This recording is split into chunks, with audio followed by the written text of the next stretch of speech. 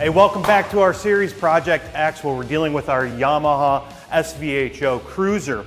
Today we're going to handle, it's called QSTS, but it's really your trim system up here that we're going to deal with replacing this cable. This is what's responsible for the tilt of your ski. And we'll make those adjustments on the fly while you're going. If your nose is too up, we can bring that back down while we're cruising. And after eight years, it's been responsible for a lot of impellers shifting up and back and forth and, and starting to feel a little tight.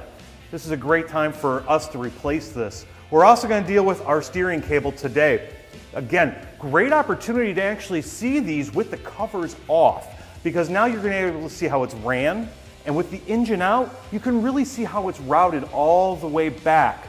So you get a good chance to see this. Now these cables can be replaced and can be serviced with the engine in. But it's a really great opportunity with the covers off, with the engine out, to see the proper routing so you know how it goes back in and how it should lay inside the hull all the way back to our jet pump and our impeller system. We're gonna talk a lot about what are some of the things that you need to do with the cables. Can they be lubricated? Are there adjustment points? Those are things that are very important to anybody doing these cables so you know how it's done the correct way. And we're gonna do this in two different phases here. We're gonna start with our actual trim cable first, and then we'll get to the actual steering cable, which you'll see underneath here. And with everything removed, great opportunity to see it up close. So we're gonna handle them one at a time. Brian, my assistant, is also going to be working with me on getting this done. It's a lot easier when you have two people. So Brian's gonna be helping me out. Um, I'll probably start up front here. He's gonna, I think I'm gonna put him up back and make him do the, start removing the impeller. Because it is important that the actual impeller has to come off. So tell us a little bit it, about that. It sure seems like it. The, the manual isn't 100% clear, but it seems like there's no way to get the cables out where they go through the hull with the jet pump still in place. They're uh, probably 12 or 15 inches in there and there's no room around them. Maybe we'll get lucky, maybe with the with some custom tool you could get the, the nuts off that secure the cables and the grommets into place. It's my bet that the whole jet pump's gotta come down. So I'll walk you through all that stuff from underneath the backside. Yeah, we'll make sure you get to see all of the disassembly and installation of the new cables so you know how to do this on your jet ski. So stay tuned, we'll get into it next.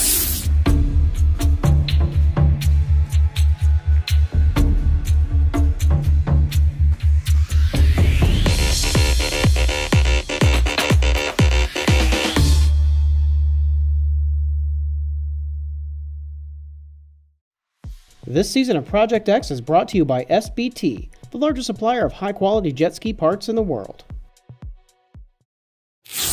Again, we're going to start with the quarter, or please say that again. Quick shift trim system. Yes, QSTS, quick shift trim system. Cable on will, this one. Which we will refer to as trim from here forward. Absolutely. It is a handful to say. So we, we're going to start with that one first. So I'm going to start up here on the actual handle area itself, and Brian's going to be starting Down out below. back and starting to get to, to some of this impeller and jet pump system that we've got to get out of the way to be able to do this.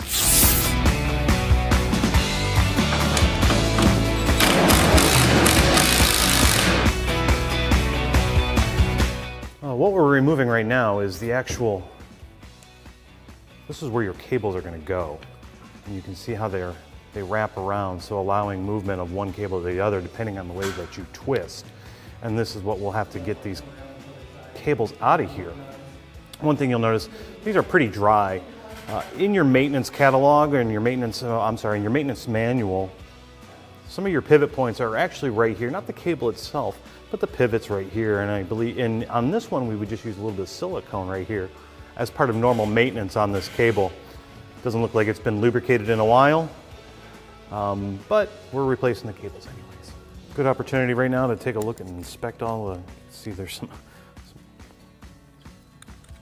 some dirt and debris in here. Definitely gonna wanna clean this up before we put it back on there. And again, we're gonna use silicone in these areas where you get your pivoting, so put this off to the side right now and now we can start running our cables out. I think I know why the uh, uh, speedometer isn't working. Is it broke too? Uh, it's completely gone. It's missing. One of the things the owner told us was that the speedometer wasn't working. And you found and this why? is a pretty serious indicator.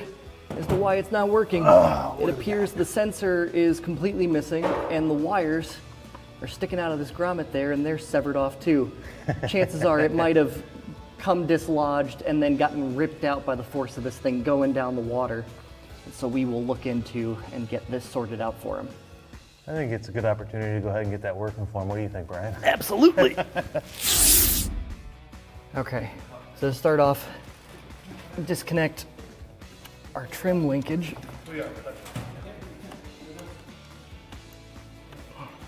Push back on the lock collar. Easier said than done. And then pop the ball joint off. Same thing here on our, I'm sorry, reverse bucket and the trim systems here. Push the collar back, pull the joint off. That would have been easier with the bucket down. And you know, a keen observer will notice our water flag hose appears to be missing. And from the look of the water flag, that might have gotten yanked off there too. I wonder if he deleted this system or if this was a just came off by accident. I'm sure we'll find out soon. Next up, I do want to pull this steering link off here. So now we've got our steering link disconnected. It's time to drop our reverse bucket off of here. There's a whole bunch of 10 millimeter bolts that hold it up along each side. And then I'm gonna relieve the spring. Of course, anybody watching this right now knows I picked the right part to start and uh-huh. stuck you. Yep, yep. it's all right, I like a good challenge. this is why I was using an impact for the first few. Every one of these bolts has got thread locker applied. You bring up a great point, Brian. They do use a lot of thread locker on these jet skis in a lot of different areas. And you'll see that in the actual service manual that they tell you to reapply thread locker to various components. And um, that has a lot to do with the vibrations and things like that that the jet ski will experience on its lifetime on the lake or the ocean or pond or wherever you got it going on. These things definitely live a hard life. They do. To be fair, there's a chance I could have maybe left this reverse bucket on, but I certainly want the ease of access to everything else we have to touch today. I'd rather just spend the time now to pull it. So Brian, what's the component we're removing right now? We're removing the reverse bucket. This is the plastic shroud that drops down behind the jet pump nozzle, redirects water flow forward so the craft moves in reverse. Excellent.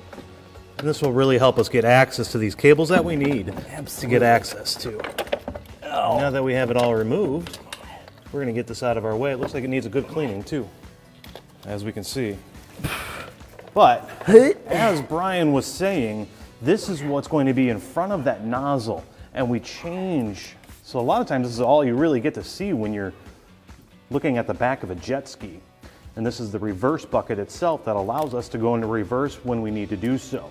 Now you also have a great chance, a great opportunity to see the actual nozzle itself and where and how water is directed and how it moves to steer.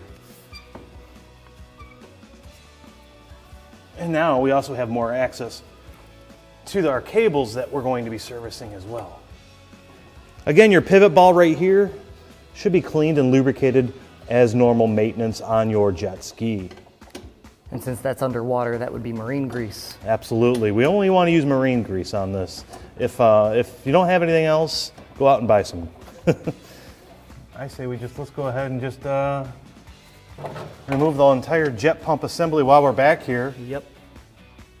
Maybe get a little bit of a better chance to see everything that way as well. Yeah, so absolutely. we're gonna go ahead and remove the entire jet pump assembly. As Brian was saying, we might be able to get to these cables and, and service them in here. It's a little bit of tight quarter areas to really get back there to get that grommet loose and to be able to remove the entire cable assembly. But we have some more work to do to the impeller anyways. It looks a little dirty anyways. We definitely want to clean it up while we have it out. We're just gonna take it all the way out. So you can see that being done as well. We're gonna take the entire jet pump assembly off. It'll give us much more access to our cables that we're gonna be replacing today. So Brian, you were saying it's nice to be able to just go ahead and crack them loose, and especially in aluminum so you can feel if something was going on. Why was that? If uh, aluminum is soft and it can gall up and stick to the threads of the bolt. And when you go to turn the bolt out, it feels like it never gets loose. It's constantly dragging, hard dragging on you. And that's because it's ripping the aluminum out of the housing and pulling it out with the bolt.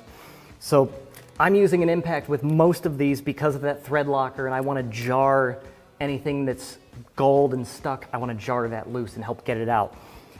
But for something like this, I'll typically crack the bolts loose by hand with a ratchet. That way I can feel with my hands whether something is going wrong.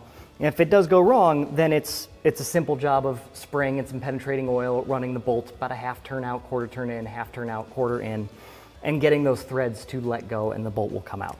Now keep in mind, just because you have a stripped out bolt or anything like that doesn't mean that it's the end of the world. There are multiple repair kits out there available to go ahead and uh, create new threads as you will. Um, but always be aware when you're taking things apart, if it feels like it's giving you a little trouble, uh, work that bolt back and forth a little bit to see if you can kind of get it to break free and not damage any threads. It's a great point, Brian.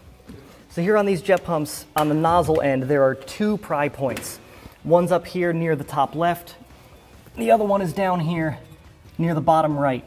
So just a small amount of force is usually all that's required.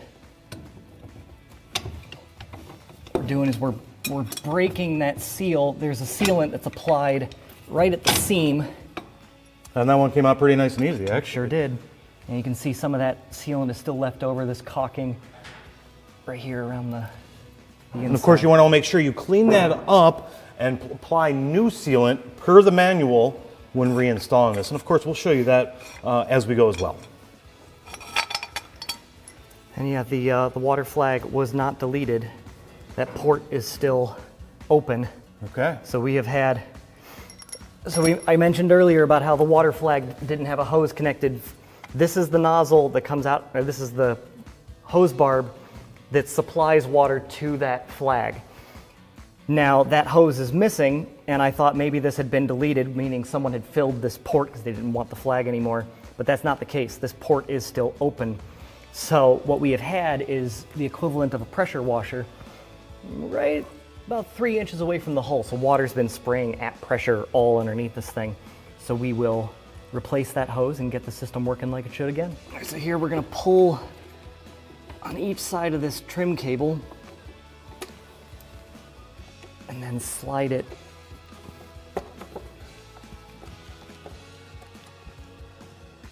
out of the yoke.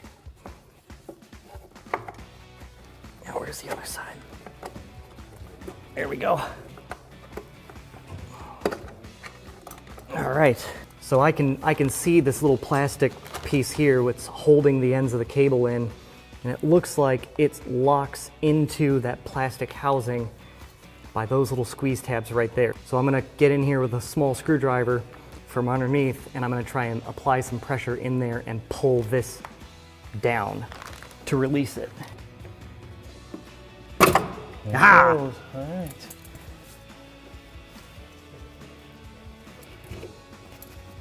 Here we are. And as you can see, the cable's going to come out this way, all the way back, and then we're going to have to run it all the way back up forward. Th- This one definitely doesn't feel as smooth running through the sheathing that's in there. Um, it's might have a little bit of corrosion built up in there over some time. Again, it's eight years old. You can, it just doesn't feel quite as smooth as the other one. This one moves a lot, a lot more. Then this one starts to hang up a little bit. So it's probably a good idea that we're going ahead and replacing these. Remember, if you're getting some binding like this, we don't want to lubricate these cables. It's not recommended to do that. We're only lubricating pivot points, um, your ball sockets, such as right here, um, and where it actually goes into the actual handle itself, the actual grip, throttle, or the, the quick turn system right there. So we're going to go ahead and start installing the new ones now. As you can see on our new cable, we have a brand new seal. This is what's gonna keep the water out from inside our hull. So it's very important to make sure that you have it in place before you install this back, uh, back in the hull that we're gonna feed it through. If it's not there, you're gonna have a problem. But we've got a brand new seal on our cable assembly. We're ready to start feeding this back through all the way back up.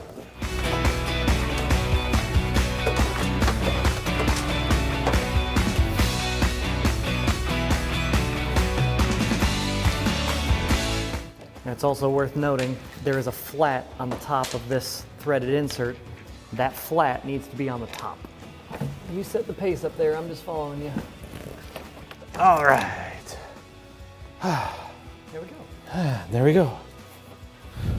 So now we're ready to put on our packing tape back here and our grommet with our new zip tie. It's 21 inches from here to here. It was already marked for us. Uh, I had measured it just to make sure in case when I took it out of the package it wasn't, but uh, this is already right in position where it needs to go, so it's gonna run perfectly over to our actual adjuster over there. So I'm gonna run this now, get this all set up, and get the grommet back into place. Click.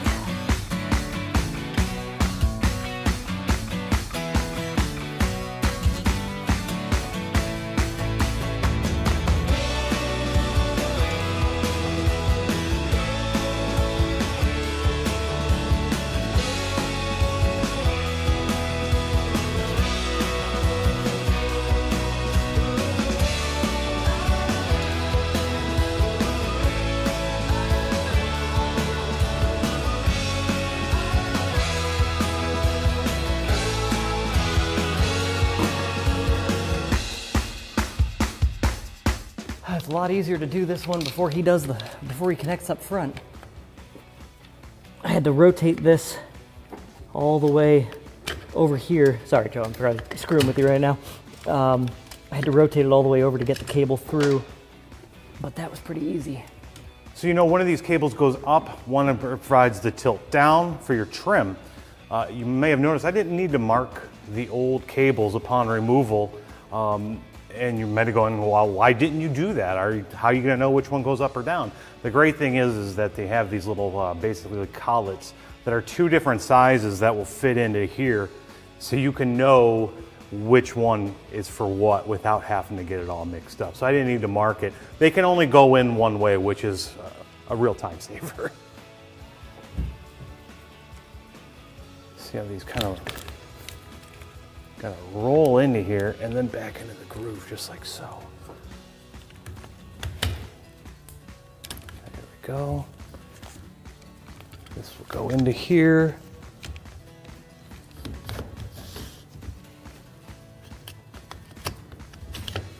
All right. Now before I go any further, we do have adjustments right here. These are screwed all the way in right now. As a baseline, I'm going to use the old cables as a reference point of where to set these up. The trim did seem to work well and correctly positioned on the old set of cables, so I'm going to use as a baseline.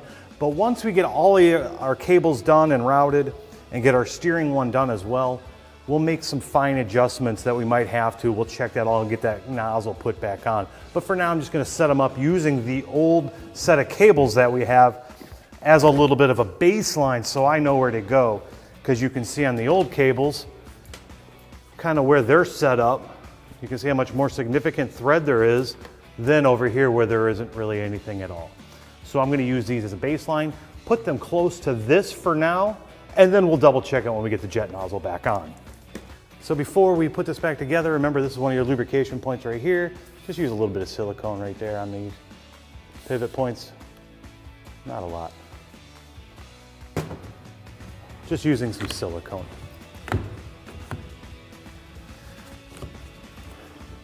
So we've got our trim cables run.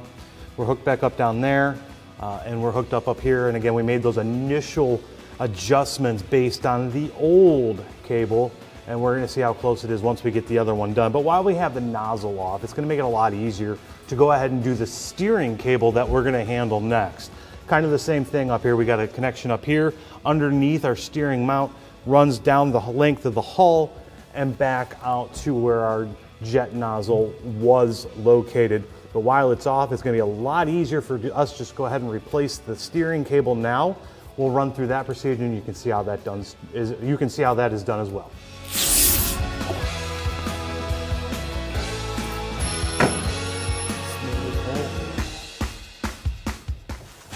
So if you see right here, if you can get a close up of that maybe, this, you gotta move back on that collar to get it to lock and unlock. If we don't, you just start prying on it, you'll damage the cable, especially if you're gonna reuse it.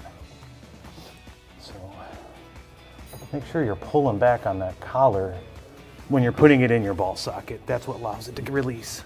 All right, next up, we'll pop this joint off the end of the steering cable. I don't think we'll be able to get this through the hull with this end joint still on. So this is tough to see based on the fact that the cable runs underneath our hose over here. So I'm just gonna go ahead and take the hose off so we can get a better look at it and you can see exactly how it's ran. Plus it's gonna make it a lot easier to get to the actual uh, retaining nut that's on there. So we're gonna do that real quick. That way we can all get in better access to this. All right. Now that that's out of the way, we can really see the actual retaining nut a lot better and get to it without trying to put ourselves in some contortionist body way. And there's not much. There's not a lot of torque on these plastic nuts. It's only about 5 psi. That's why I'm not worried about using some pliers that I am. This is not the right way to do things. But since space is so limited, what I'm trying to do is very. Wait a minute. Wait a minute. Oh. Okay, so apparently that fastens from the other side, and Brian had no idea. The best part about doing work with somebody else sometimes is the unexpected surprises. and Brian thought it was down there that it was held, and I got it up here, and well, ready to come out now. Okay, it's gonna wait. How's that? It's gonna go out your way. Oh, okay. So it's gonna go out your way. But hold on. Before we do that, we're gonna have to remove this. So, kind of looking at where it is. And it's relatively centered on that. I can. I've got it right here and here. It's centered at the top of the thread here and kind of centered on the bottom of that collar shoulder area right there. That's where I'm going to want to put the new one on when we run this. But this part won't fit, I don't think, through there. We'll give it a try though. If not, we'll take it off.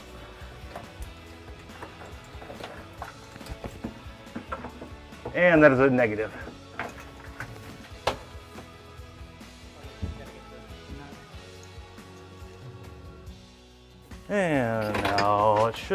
Should come out. Yay! And here's a surefire sign of wear. What you got? I got a hole. Really? All right. The rubber rubber boot. This is on, mind you, this is where it seals up against the hull, so this part in the right time is underwater.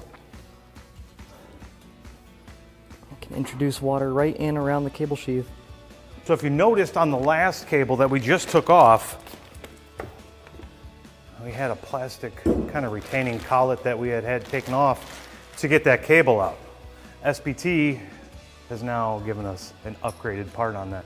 So you can see the difference in the quality. So you do have two adjustments on this as well. Just like on the other cable, you have an adjustment down here and you have one up over here. We're gonna temporarily and just as a reference, use the old cable as a setup point for where to set these up at. These are also your pivot points right here. This is a good place to put some of that marine grease, a little dab on there when you put this all back together. And then also, I'm gonna put some inside here before I put that back on there as well. That's one of your pivot points, one of your lubrication areas as well. So we'll do that when we get it all routed and put in place. But right now we're gonna kind of just check our initial, and we can see if you look how much difference there is. I'm just using the old one as a reference guide. It's not set in stone here. We will check everything once we have it all back in place, but I want to get it relatively close. I didn't have too many issues before, so I'm pretty close there. So we'll lock that into place.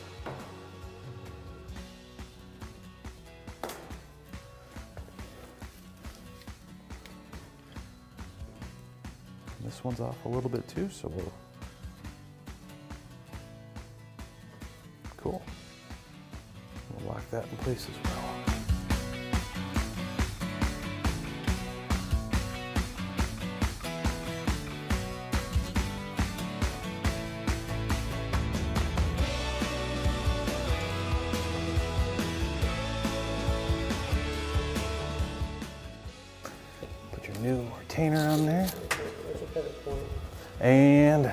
Pivot point It's to go on there as well.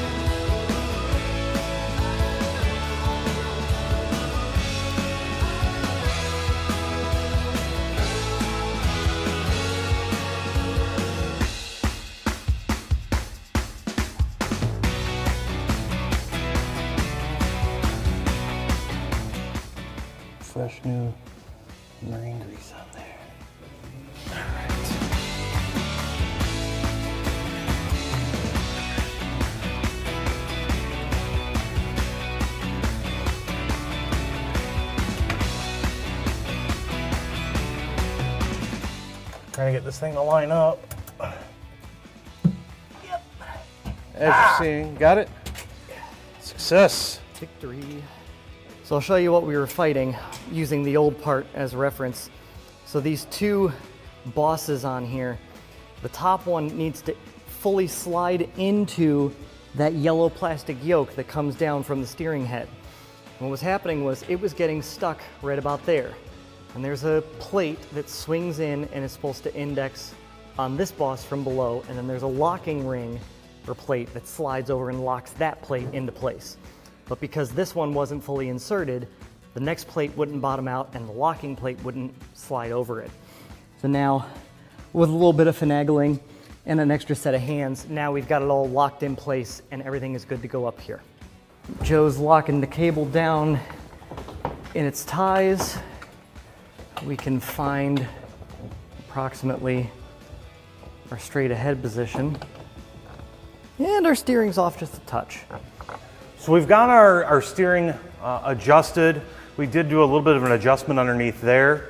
Uh, and they also have you measure the angle. Going from here, you know, back and forth, you're gonna measure the angle down there to, till you get the exact distance that you need out of that sweep, which we made that correction down there.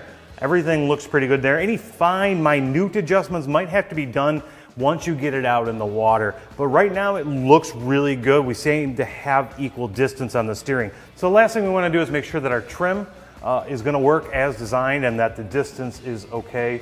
Um, we will be doing some more additional service back there, but we put the jet pump housing back on for now. So it's gonna have us start by putting the actual trim in neutral. So I have it set to neutral up here on my grip.